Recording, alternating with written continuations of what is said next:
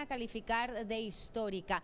Concentraciones aquí en la capital, pero también en el interior de nuestro país. Y nos vamos a enlazar con nuestro corresponsal de Noticiero Guatevisión, Whitmer Barrera, quien se encuentra en San Marcos, vigilando entonces el panorama y el escenario que se vive allá en el interior del país. Whitmer, muy buenos días. Cuéntanos entonces eh, qué está ocurriendo y cómo se vive esta jornada.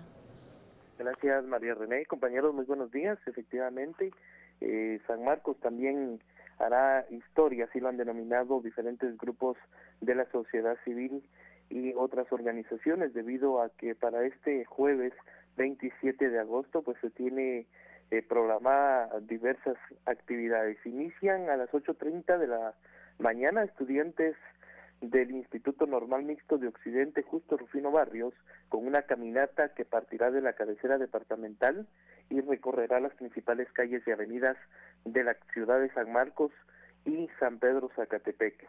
A las 11 de la mañana se tiene planificada una concentración masiva de organizada por la sociedad civil en el Parque Central José Ignacio Juárez. Sin embargo, la mayor concentración de personas en una caminata será a partir de las 14 horas 2 de la tarde, donde estudiantes del Centro Universitario de San Marcos de la Universidad de San Carlos, de las diferentes carreras, pues tienen programada realizar una marcha eh, pacífica eh, que partirá de San Marcos hacia San Pedro Zacatepeques. Otras organizaciones también han programado para en horas de la tarde realizar las, las caminatas que tienen como objetivo eh, pedir la suspensión de las elecciones que ya están programadas para el 6 de septiembre y también exigir la renuncia del presidente de la República, Otto Pérez Molina. Sin embargo, también en el municipio de San José del Rodeo se efectuará una caminata en contra de la corrupción, está programada para las 9 de la mañana.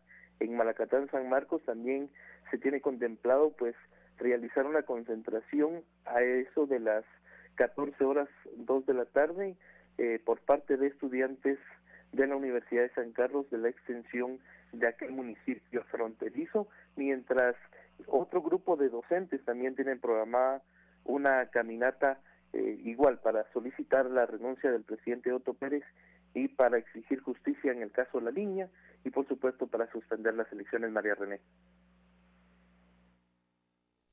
Gracias, Whitmer. Mira, vamos a estar nosotros muy pendientes entonces de lo que nos puedas comentar en los siguientes enlaces de lo que está ocurriendo. Agradecemos estar pendientes y con cuidado, por favor. Sí, hay información de bloqueos que se están dando desde esta mañana. Ya los 48 cantones están presentes en cuatro caminos en Totonicapán y ya se están compartiendo esas imágenes y nosotros las vamos a tener para ustedes más adelante. También en Cobán, convocatoria de sociedad civil y con hora caminatas a partir de las 15 horas. Y claro, aquí en nuestra capital ya también personas, estudiantes, organizaciones civiles, están aglomerándose ya en distintos puntos de la ciudad para empezar este recorrido que llegará hacia la Plaza de la Constitución, el Parque Central, donde es la convocatoria para este mediodía congregarse y manifestar. La consigna hoy, dicen muchos, es claro, estar a favor de Guatemala y pedir la renuncia del presidente Otto Pérez Molina. Jornada que muchos están calificando desde ya histórica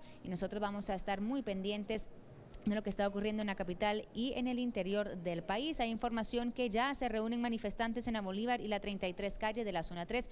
Cuidado entonces si va a transitar por esa área. Recuerde hoy tener paciencia en las calles, en las carreteras, por estos paros y también por las distintas marchas que se van a dar pidiendo la renuncia del presidente Otto Pérez Molina. Esté pendiente, por favor, de Viva la Mañana y Guatevisión. Más adelante más información, pero pasamos con Crista y los deportes.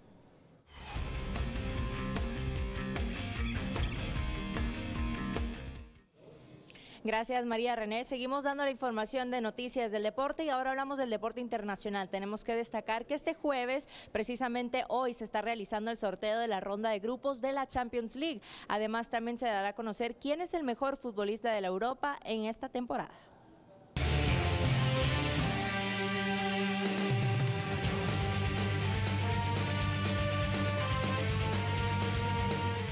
Se realizará el sorteo de la fase de grupos de la Liga de Campeones, luego que quedaron definidos los 10 equipos que faltaban entre el Manchester United, el Bayer Leverkusen, el CSK de Moscú, el Bate, el Astana avanzaron en sus respectivas series finales. A estos equipos se unirán los clasificados de la jornada del martes, el Maccabi Tel Aviv, el Dinamo Zagreb, el Shakhtar Donetsk, Valencia y el Malmo, todos estarán el sorteo de este jueves a partir de las 9 de la mañana. Los bombos del sorteo quedaron así definidos. En el 1, Barcelona, Chelsea, Bayern Múnich, Juventus, Benfica, el Paris Saint-Germain, el Zenit y el PSV joven. En el 2, el Real Madrid, Atlético de Madrid, el Porto, Arsenal, Manchester United, Valencia, Bayern Leverkusen y el Manchester City. Mientras en el bombo 3, el Shartak, el Sevilla, Olympique León, Dinamo Kiev, el Olympiacos, CSK Moscú, el Galatasaray y la Roma. Además, el bombo 4, el Bate de Barisov, el Borussia Mönchengladbach, el Wolfsburgo, Dinamo Zagreb, el Maccabi, el Malmo y el Astana.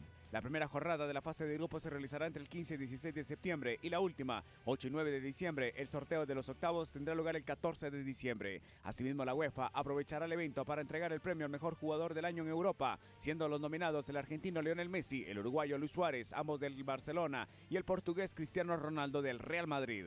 Esto fue lo más relevante del deporte internacional. Para Viva la Mañana, Luis López.